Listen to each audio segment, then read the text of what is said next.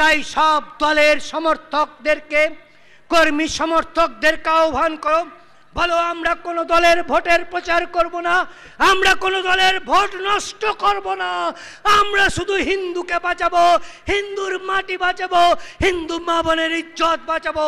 আমরা ভোটের লোভে কাজ করতে আসিনি, কোনো দলকে ভোট দিতে এই মঞ্চ থেকে বলা হবে না। ভালো করে কান খুলে শুনে নাও ভাই, কোন দলকে ভোট দিতে এই মঞ্চ থেকে বলা হবে না। তুমি তোমার গ্রামের এলাকার পরিস্থিতি অনুসারে ভোট দাও, কিন্তু যখন যখন যখন আমার মা বোনের উপর অত্যাচার হবে, তখন দল না দেখে, পার্টি না দেখে ঝান্ডার রং না দেখে, তোমরা এক জায়গাতে এসে এই প্রতিরোধের দেওয়াল গড়ে তোলো।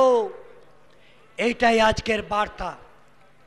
আর প্রত্যেকবার যে কথা বলি, যে তোমাদের লড়াইয়ে ধর্ম আছে তোমাদের সঙ্গে, ভগবান আছে তোমাদের সঙ্গে, গোটা পৃথিবীর হিন্দুরা আছে তোমাদের সঙ্গে, তোমাদেরকে সহযোগিতা করার জন্য আজকে আমার তিনজন ছেলে ওই খলিশানিতে দেড় ঘণ্টা লড়াই করে আহত হয়ে তারা ফিরেছে।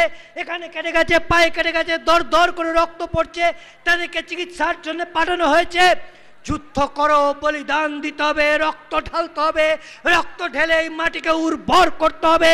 আর আমরা পশ্চিমবঙ্গকে, পূর্ব পাকিস্তানের মতো আর একটা পাকিস্তান হতে দেবো না, আর আমরা পশ্চিমবঙ্গকে কাশ্মীর হতে দেবো না, পশ্চিমবঙ্গ থেকে হিন্দুকে বিতাড়িত হতে দেবো না।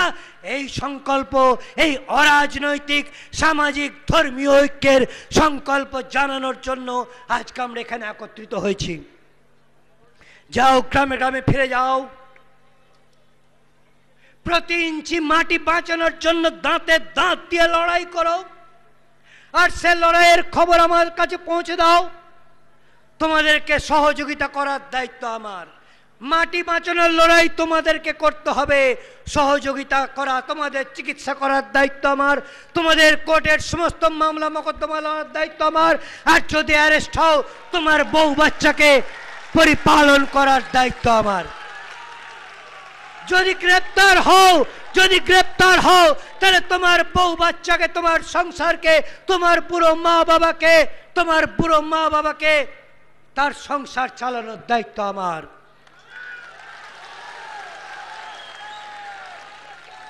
আজকে এই প্রতিশ্রুতি দিচ্ছি। আজকে যারা